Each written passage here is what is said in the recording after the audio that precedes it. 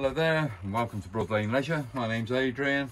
I'm just going to give a very brief demonstration of the cooker facility, cooking facilities that we have in this Swift Basecamp 2020 model. Uh, it will be applicable to other ranges as well, uh, younger vehicles that, uh, such as the 2018 or 17 model that they produced. Uh, we do have similar equipment in both. So this is just the 2020 model that I'm in at the moment. So I'm going to rotate the gas valve from the off position as we are now to the full position. It has got an ignition seat, uh, electronic ignition built into it. And if I just ignite the flame, release the valve, that should then stay on. Just trying to see it, hopefully you might be able to see the flame better.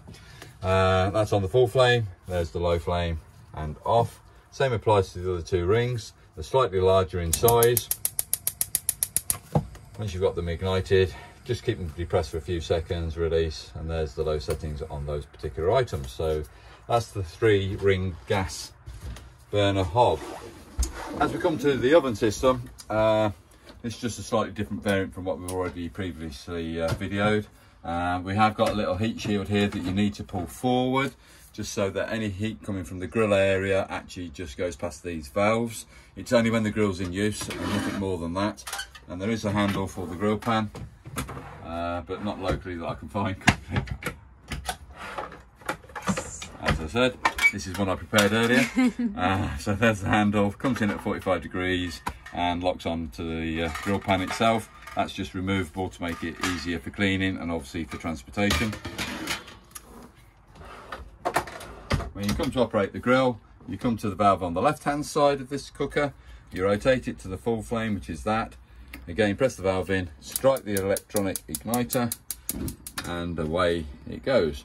After a few seconds, you can release the depressed valve, which I've done now, and that's on high, there's low, and that's a simple operation on the actual grill itself.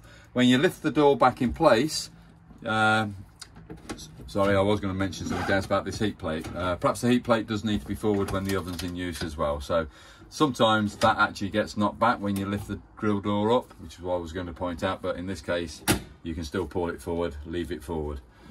Rotate the valve again all the way around to its highest setting, which is 240 degrees. Press the valve in, keep it depressed, press the electronic igniter.